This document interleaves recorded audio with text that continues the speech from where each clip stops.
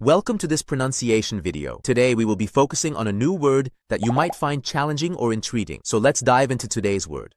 Tommaseo, which means An Italian surname, notable bearer, linguist and scholar Niccolo Tommaseo. Let's say it all together. Tommaseo. Tommaseo.